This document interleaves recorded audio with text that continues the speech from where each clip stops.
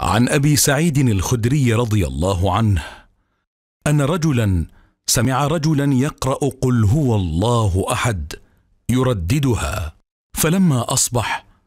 جاء إلى رسول الله صلى الله عليه وسلم فذكر ذلك له